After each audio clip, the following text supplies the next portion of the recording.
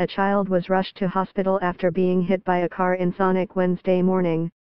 Police are not releasing many details at this time but the child was hit at the intersection of Torquay and Ash Road at 8.16 am.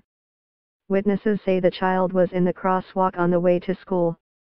Read more, 12-year-old boy taken to hospital after Langley hit and run.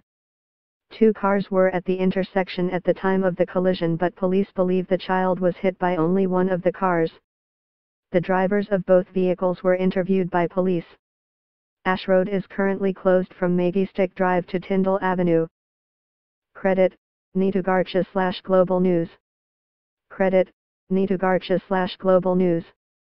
Credit, Neetu Garcha slash Global News. Credit, Neetu Garcha slash Global News.